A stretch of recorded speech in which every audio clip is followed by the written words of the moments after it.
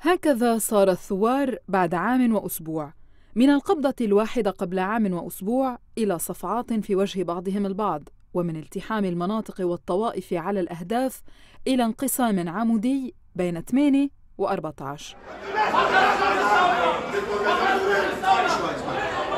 يا شباب كل نقطة خلافية. ما رح تنذكر لا بالمقررات ولا بالتوصيات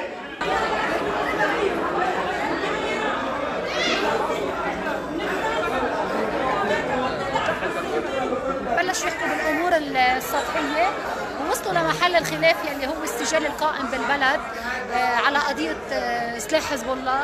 وبعدين تحول السجال هون لمشكل كبير. فسحتين على قلب السلطة. الثوره عم تثبت باخر انه في 8 و14 في أحد فنادق الخمس نجوم يبدو أن الصدام الداخلي لثورة الفقراء على الإقطاعيين والجائعين على الفاسدين قد تكرس بعد سلسلة خلافات كانت تبرز من دون أن تأخذ أبعاد إشكالات على عكس ما حصل مساء الأحد. صحيح أن سلاح المقاومة كاد يشعل فتنة داخلية في الست حزيران الماضي، لكنه لم يتسبب بإشكال في صفوف مجموعات الحراك على رغم معارضة بعضها لطرح مسألة السلاح والقرار 1559 كعناوين للحراك. تأكيد البعض أن العناوين الخلافية لن تدرج في التوصيات والمقررات لما سمي بمؤتمر توحيد جهود الثورة لم ينجح في منع الإشكال أو حتى فرملته.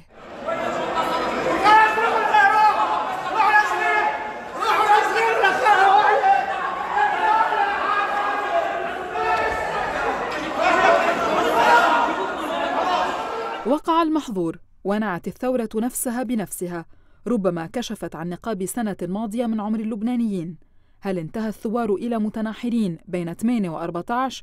هل كانوا هكذا في الأصل؟ وإذا كان الجواب إيجابا فضد من أو ماذا قامت الثورة وقطعت مجموعاتها الطرقات على الطلاب وموظفين وعاملين وعلى أرزاق الناس وعلاجاتهم وإذا كان الجواب إيجابا لماذا أهين العسكر وانصبت الشتيمة على فئة معينة وكيلت تهم الفساد بها وأبعدت التهمة عن متجذرين بهذا الفساد وأين هو الإصلاح؟ في طوبان بيعمل مشكل وبيروح يخرب الدين وبيروح غاب كل الثورة يبدو أن صور تشرين الأول 2019 ذهبت إلى غير رجعة خصوصا عندما تتالى أوراق النعي ممن كانوا في صفوف القياديين أو الوجوه البارزة لحراك 17 تشرين شرب الآعي أبرز قاطعي الطرق في جل الديب عاد إلى منزله وهكذا طلب من الآخرين لأن المجموعات بدل ما تلتهي ضد المنظومة الحاكمة التهت كيف بدها تمرك على بعضها. وأي مجموعة أهم من مجموعة ومين بده يبين أكثر قال آعي ليختم كلنا على البيوت.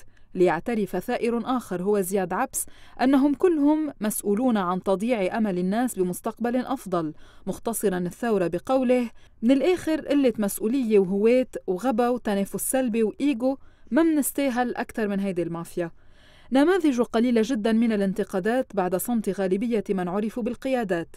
فلا عودة الحريري الذين أسقطوه قبل عام هزتهم ولا شطب عامل كامل اعتبروه تغييرهم القادم قد أثار غضبهم بعد تكليف سعد الحريري وحده عدد قليل حاول جمع أجزاء الثورة المتناثرة فكان هذا العدد حطبا احترق فأحرق الثوار.